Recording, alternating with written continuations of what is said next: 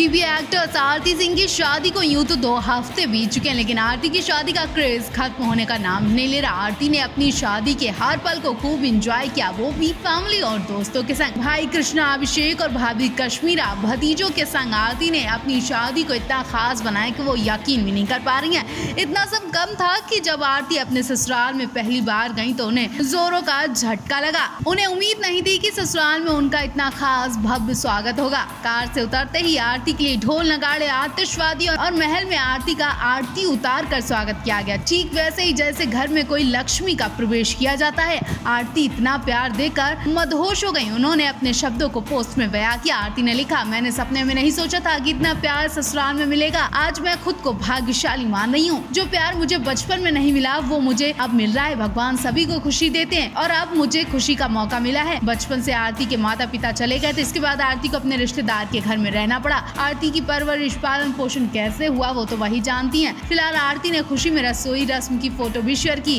Red sari पहने आरती kitchen में खाना बनाती दिखाई दे रही है। पहली रसोई रस्म में आरती ने सबका दिल जीत लिया। ससुराल वाले तो उंगलियाँ चाट के रह गए। वही पति तो बुरी तरह रो भी दिए। नहीं पता था। इतना प्यार मिलेगा। ससुराल की दहलीज पर पैर रखते ही आरती रोक नहीं सकी आँखों के आँसू टीवी एक्टर्स आरती सिंह इन दिनों अपनी शादीशुदा लाइफ को खूब एंजॉय कर रही हैं। एक्ट्रेस की खुशी सातवें आसमान पर है। जब एक्ट्रेस ने अपने महल जैसे ससुराल में महारानियों जैसा स्वागत देखा एक्ट्रेस ने नया वीडियो पोस्ट कर अपने ससुराल की झलक दिखाई। साथ ही बताया की उनके ससुराल में उनका स्वागत हुआ तो वो रो दी। आरती ससुराल में अपनी पति दीपक चौहान के साथ बेहद खुश है। एक्ट्रेस के चेहरे से उनकी खुशी झलकती दिखाई दी। आरती का स्वागत ससुराल में आतिशवादी और रोशनी के बीच हुआ। खूब धूम धड़ाके से दीपक उन्हें अपने साथ ले गए थे। आरती का ससुराल नई दुल्हन जैसा सजा दिखाई दिया अपने आँसू रोक नहीं पाई, वो बेहद इमोशनल होती दिखाई दी। आरती के महल जैसे ससुराल की बिल्डिंग के चारों तरफ़ आतिशवादी की लाइट्स थी। इसके शोर शराबे और इतनी चमक धमक देकर आरती की खुशी सातवें आसमान पर थी। आरती ने वीडियो पोस्ट कर अपने जज्बात बया किए और लिखा, एक लड़की के बहुत सारे सपने होते, लेकिन मैंने कभी इस तरह के स्वागत पर सपना नहीं देखा था। मेरी आँखों में खिलखिलाहट, मुस्कान, बच्चे जैसा उत्साह आपको बता दें कि मुझे कभी नहीं पता था कि मुझे इतना प्यार मिलेगा। आरती ने आगे लिखा, एक बड़ा परिवार और एक ऐसा परिवार जो मुझे एहसास कराता कि मैं कितनी भाग्यशाली हूँ। गोविंदा की भांजी, आरती की शादी पच्चीस अप्रैल को मुंबई में दीपक चौहान के संग हुई। उनकी शादी में भाई कृष्णा, भाभी कश्मीरा ने सभी रस्में पूरी की।